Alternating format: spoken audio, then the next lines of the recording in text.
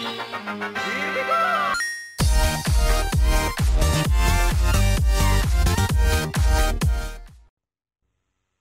up guys, it's Kyle aka Goon Noodles back with another tech video. And today I'm going to be showing you how to fix latency, lag, or Wi-Fi spikes uh, in a wired or wireless computer.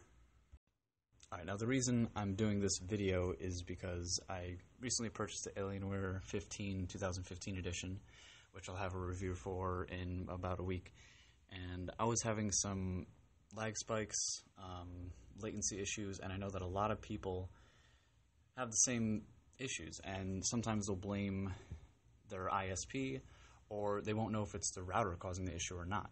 And I was streaming my Xbox One to my laptop, you know, using Windows 10, and I was getting severe lag, and I wasn't really sure what was causing it.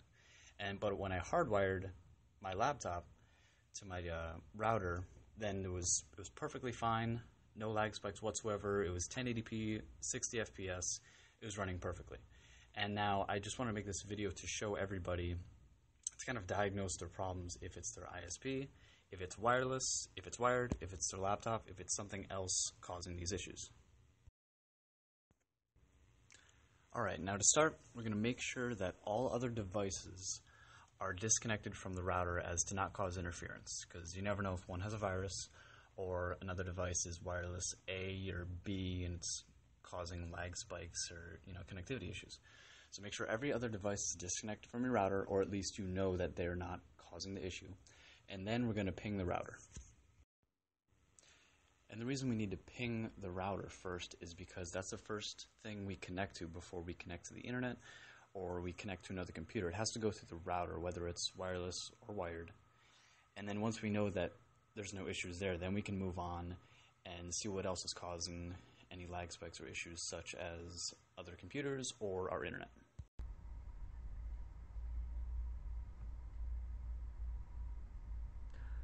Alright, so what we're going to do first is go to our router's. IP address. And try and find all um, connected devices and make sure that they're disconnected.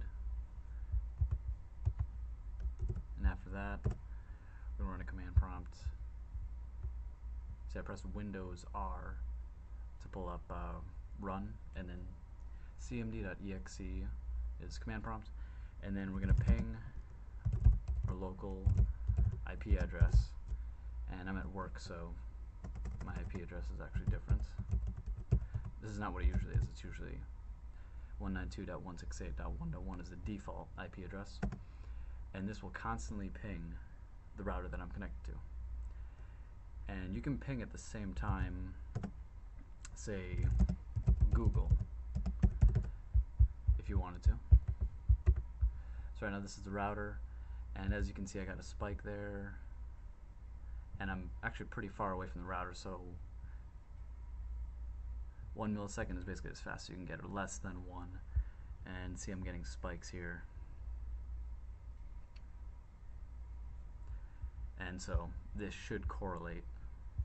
If I get a spike here, I should get a spike on here as well.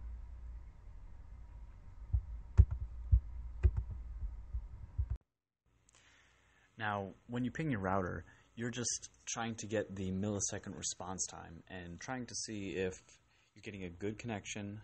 And when you ping it, it's sending a packet and sending it back, and that's the milliseconds in response that you're sending and receiving. And the best you can get is less than one. And if you're getting constantly less than one with no spikes after pinging it for, I don't know, a minute or two, I would say you're good. It's not your laptop's connection to the router.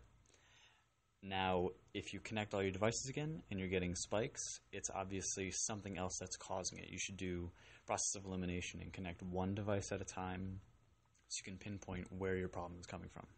The computer.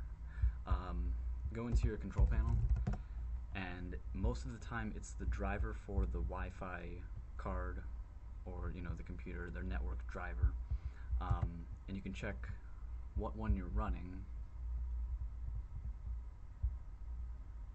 Uh, network adapters, and right here is my Ethernet controller and my wireless, and you can update the driver or you can manually roll back, update to a file that you get. Sometimes the newest one doesn't always work. Sometimes a really old one works. Sometimes the one without the software works best. Um, but that's all here, and you're gonna have to try quite a few things. And then after that, you can decide what you're going to do. You know, um, in my personal case, my laptop uh, was getting lag spikes, and the only way that I sought to fix it, the easiest way, is I reformatted my laptop, and I figured out that it was actually Alienware's autopsy, uh, some of the crap that they put on Alienware right when you get it, and that was causing lag spikes. So I reformatted it to Windows 10, made sure there was nothing on it, and now I don't have any lag spike issues.